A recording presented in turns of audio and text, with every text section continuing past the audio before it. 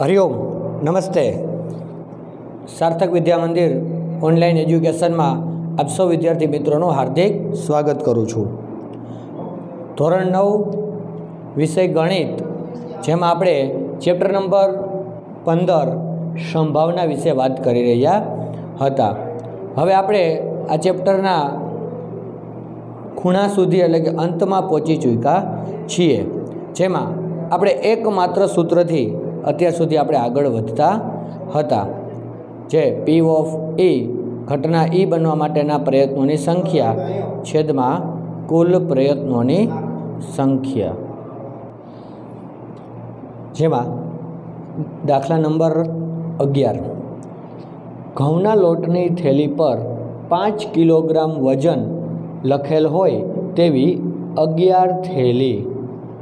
પસંદ કરી તેમાં ખરેખર નીચે પ્રમાણે વજન હતો. હવે પાંચ થેલી પસંદ કરી, તેમાંથી વજન કેટલો મળ્યો? તો કે કોઈ થેલીમાં ચાર પોઈન્ટ સત્તાણું કિલોગ્રામ, કોઈમાં પાંચ પોઈન્ટ પાંચ કિલોગ્રામ, કોઈમાં પાંચ પોઈન્ટ આઠ કિલોગ્રામ, કોઈમાં પાંચ પોઈન્ટ ત્રણ કિલોગ્રામ, કોઈમાં પાંચ કિલોગ્રામ, કોઈમાં પાંચ પોઈન્ટ છ કિલોગ્રામ, પાંચ પોઈન્ટ આઠ કિલોગ્રામ, ચાર પોઈન્ટ અઠ્ઠાણું કિલોગ્રામ, પાંચ પોઈન્ટ ચાર કિલોગ્રામ પાંચ પોઈન્ટ સાત કિલોગ્રામ અને પાંચ કિલોગ્રામ અલગ અલગ વજન મળે છે. હવે સંભાવના શું શોધવાની છે? આમાંથી કોઈ એક યાદચ્છિક રીતે પસંદ કરો અને તેમાં આવેલા લોટનું વજન પાંચ કિલોગ્રામથી વધુ હોય. બરાબર છે? એટલે કે પાંચ કિલોગ્રામથી ઓછું નહીં, પાંચ કિલોગ્રામ પણ નહીં. એટલે શું? તો કે પાંચ કિલોગ્રામથી વધુ હોય. બરાબર છે? તો આપણે અહીંયા ધારશું કે ઘટના અહીંયા પાંચ કિલોગ્રામથી વધુ વજન ધરાવતી થેલી હોય તેને ઘટના એ કહીશું. બરાબર છે? હવે, ઘટના એ બનવા માટેના પ્રયત્નોની સંખ્યા, ઘટના એ બનવા માટેના પ્રયત્નોની સંખ્યા. હવે ઘટના એ બનવા માટેના પ્રયત્નોની સંખ્યા જોવી હોય તો આપણે આમાં જોઈશું. તો કે પાંચ કિલોગ્રામથી વધુ હોય તેવી. બરાબર છે? તો એક, બે, ત્રણ, ચાર, પાંચ, અહીંયા છ અને સાત. જેમાં આપણે પાંચ નહીં લઈએ, કારણ કે પાંચ કિલોગ્રામથી વધુ હોય તેવું લેવાનું છે. બરાબર છે? જેની સંખ્યા આપણને કેટલી મળે છે? સાત મળે છે. બરાબર છે? હવે, કુલ પ્રયત્નોની સંખ્યા. તો કુલ પ્રયત્નોની સંખ્યા આપણને કેટલી મળશે? અગિયાર. હવે આપણે કંઈ જ નહીં એકમાત્ર સૂત્ર. બરાબર છે? કે પી ઓફ એ ની સંભાવના. બરાબર છે? તો આપણે લખી શકીએ કે ઘટના એ બનવા માટેના પ્રયત્નોની સંખ્યા છેદમાં કુલ પ્રયત્નોની સંખ્યા. બરાબર છે? ઘટના એ બનવા માટેના પ્રયત્નોની સંખ્યા આપણી પાસે કેટલી છે? સાત. છેદમાં કુલ પ્રયત્નોની સંખ્યા અગિયાર. અહીંયા આપણને પી ઓફ એ બરાબર અગિયાર મળે છે. બરાબર? એકદમ સિમ્પલ છે. બરાબર? કંઈ જ વધારે યાદ નથી રાખવાનું. ખાસ આપણે રકમ વાંચવી અને સમજવી જરૂરી છે. હવે આપણે આગળ બારમું એક્ઝામ્પલ જોઈએ. હવે બારમા એક્ઝામ્પલમાં શું છે? તો કે કોઈ એક શહેરના વાતાવરણમાં સલ્ફર ડાયોક્સાઇડની સાંદ્રતા પીપીએમમાં શોધવા માટેનો અભ્યાસ કરવામાં આવ્યો છે. તેની ત્રીસ દિવસની માહિતી નીચે પ્રમાણે આપી છે.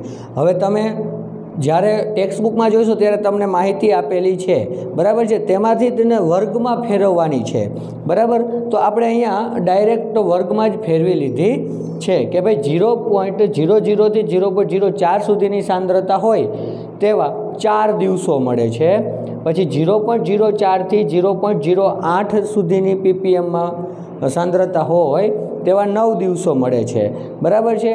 ઝીરો પોઈન્ટ ઝીરો બાર પીપીએમથી ઝીરો પોઈન્ટ સોળ પીપીએમ સુધીનું માપ હોય તેવા નવ દિવસો મળે છે. ઝીરો પોઈન્ટ સોળથી ઝીરો પોઈન્ટ વીસ પીપીએમનું માપ હોય તેવા બે દિવસો મળે છે. અને ઝીરો પોઈન્ટ વીસથી ઝીરો પોઈન્ટ છવ્વીસ સુધીના પીપીએમ સુધીનું માપ હોય તેવા આપણને ટોટલ બે દિવસ મળે છે. બરાબર છે? હવે આપણે એમાં જે શોધવાનું છે એની વાત કરીએ. તો આપણને શું પ્રશ્ન કર્યો છે? આપણે શેની સંભાવના શોધવાની છે?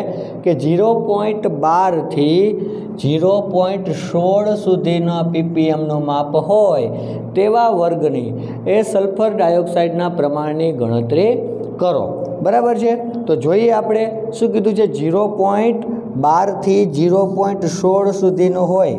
બરાબર છે? તો એવા બે દિવસો છે. બરાબર છે? આપણે કંઈ મૂંઝાવાનું નહીં. જે રીતે આપણે કરતા હતા, એ જ વસ્તુ કરવાની છે. બરાબર છે? શું છે? તો કે આપણે લખી નાખવાનું. ઝીરો પોઈન્ટ બારથી ઝીરો પોઈન્ટ સોળ પીપીએમ માટેના વર્ગની સલ્ફર ડાયોક્સાઇડના પ્રમાણને ઘટના એ તરીકે લેતા. બરાબર છે? તો હવે ઘટના એ તરીકે લેતા. ઘટના એ બનવાના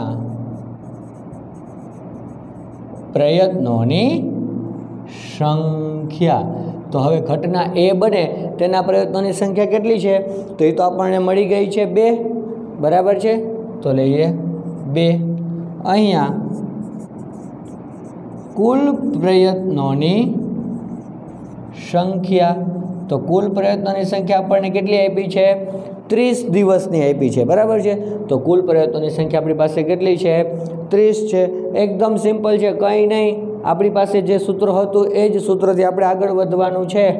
બરાબર? તો કે અહીંયા પી ઓફ એની સંભાવના ઘટના એ બનવા માટેના પ્રયત્નોની સંખ્યા છેદમાં કુલ પ્રયત્નોની સંખ્યા. એકમાત્ર સૂત્ર છે આપણી પાસે. બરાબર છે? તો ઘટના એ બનવા માટેના પ્રયત્નોની સંખ્યા. બે, કુલ પ્રયત્નોની સંખ્યા. ત્રીસ, બરાબર છે? તો પી ઓફ એ બરાબર પંદર દુને ત્રીસ. એકના છેદમાં પંદર. બરાબર છે? એકદમ સિમ્પલ છે અને એકદમ સહેલું છે. એકમાત્ર સૂત્ર ઉપર આપણે બધા જ એક્ઝામ્પલની ગણતરી કરવાની છે. એકદમ સરળ છે. બરાબર? એક જ સૂત્ર યાદ રાખવાનું છે કે પી ઓફ એ બરાબર ઘટના એ બનવા માટેની કુલ પ્રયત્નોની સંખ્યા છેદમાં કુલ પ્રયત્નોની સંખ્યા. બરાબર છે? હરિઓમ અસ્તુ.